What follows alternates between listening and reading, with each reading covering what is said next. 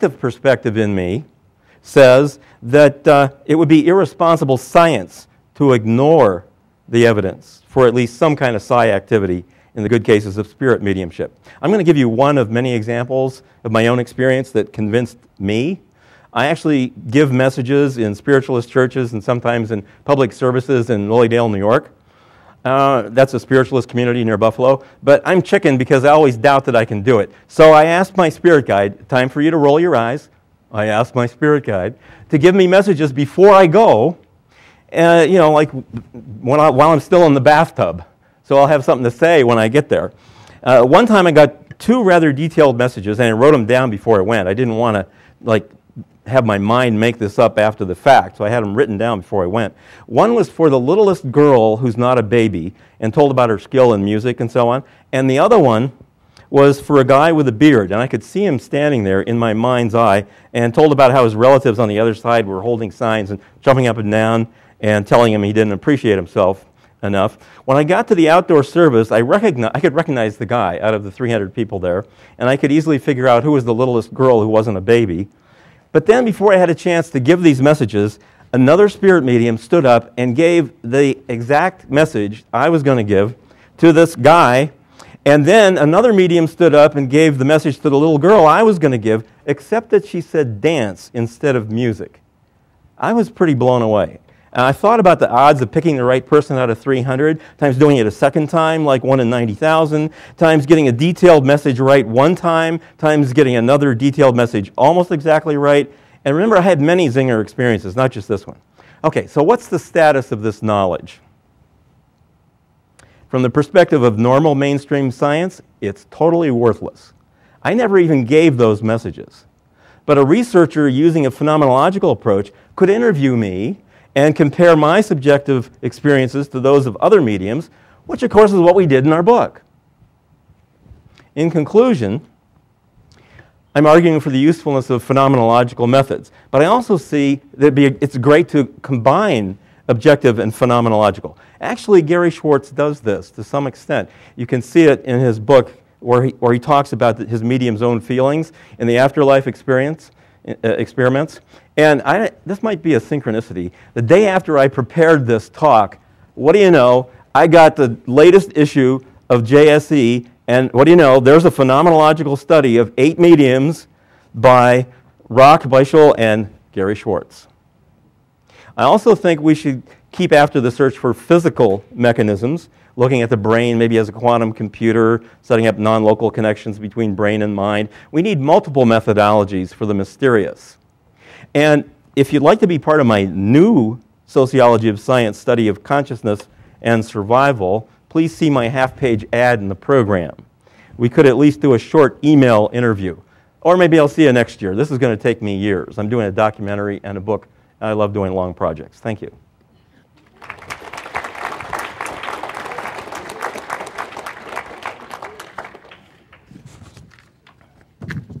Okay, we have a bit of time for questions and uh,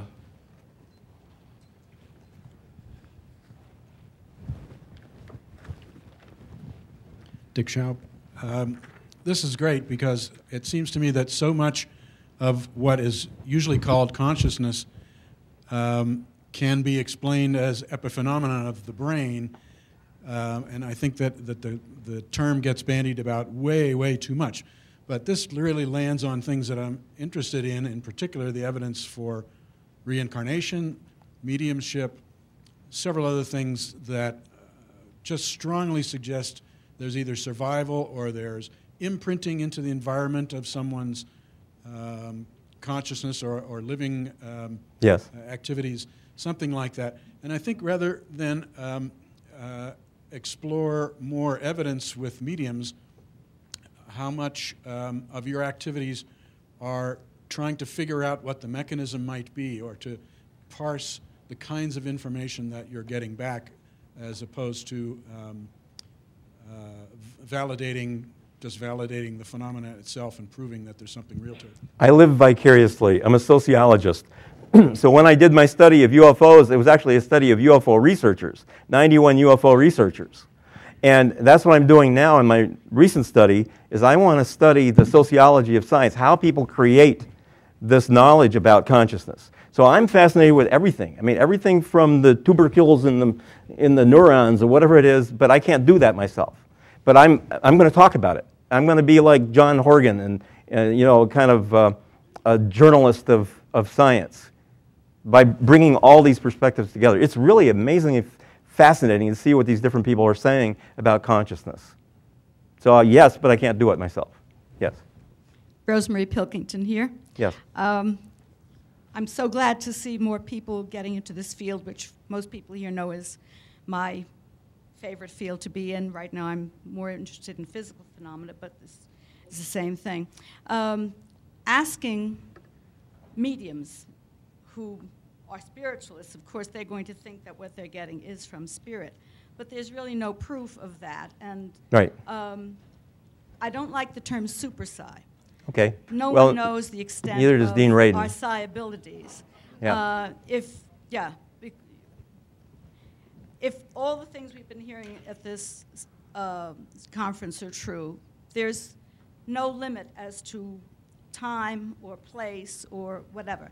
So what you are getting, for instance, when you picked up these precognitions, I think they are. Could easily be. What's going on, yeah. I know- I understand that. Um, Yeah, you, you can get things clairvoyantly, Right. precognitively, whatever, so it doesn't prove anything. Yeah. Um, it reminded me something you said of Eileen Garrett when she was asked, because she would go into trance and produce these fantastic uh, Right.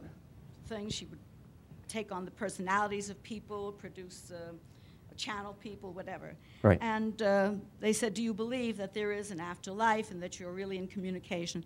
And she said, On Monday, Wednesday, and Friday, I believe. Yep. On Tuesday, Thursday, and Saturday, I don't believe. And on Sunday, you know. Exactly. She's one of the 122 mediums in my database, yes.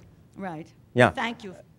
I, yeah, I'm actually I'm as interested in why people think certain things is evidence for survival as I am in the question of survival. I mean, I'm interested in everything, including that. Dave Leiter here. Uh, do you use uh, meditation as part uh, of your uh, psychic uh, ability? Me, my, Yes. my, my little poor little me, spirit medium. Yes, I do. Okay. Yes, I do. Uh, have you ever interrupted meditation and seen what the effect is? It doesn't seem to matter very much because I can go in just like that now. Now, uh, my wife, who's really a spirit medium, I mean, re- I mean, if I can do it, anybody can do it, really. But she is uh, very serious about meditating a half hour ahead of time before she does her professional mediumship.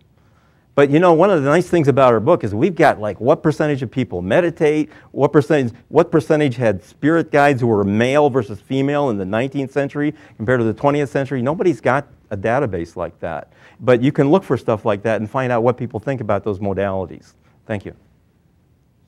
The um, um, evidence which is often considered most convincing for the actual existence of these people after death, sorry, Imants Barušs right Hi. here, Hi. um, after death is that the mediums will um, behave like their personalities Yes. will take on some of the characteristics My wife and does so that. on. Okay, Yeah. I was going to ask you if you Uh, had any especially in, in China. that. Oh, especially in China. They're much more likely to go into deeper trance in China. Uh, mediums don't like to do that these days, mostly in, in the United States. But yeah, oh yeah. And my wife would look at her arms. She said, Look at this rash I'm getting. And the guy says, That's the rash my grandfather had. You've got it. You know? And then, uh, but she doesn't talk like people uh, or imitate other things, but she'll get feelings. Yeah. That, that's quite fascinating to me, yeah.